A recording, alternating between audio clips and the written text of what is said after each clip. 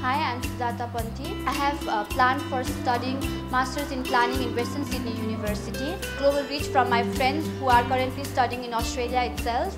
Um, talking about my, my studies, um, I have already graduated as an architect, so I have planned to study Master of Planning. Um, I have uh, applied with my dependent, whose name is Kushal Gurung and uh, we, we have applied um, on 11th April and our visa has already come on 30th April and we are now planning to go uh, for our further studies together. Talking about Global Reach, the environment is very friendly and cooperative and uh, uh my counselor Jiva ma'am is very cooperative as well.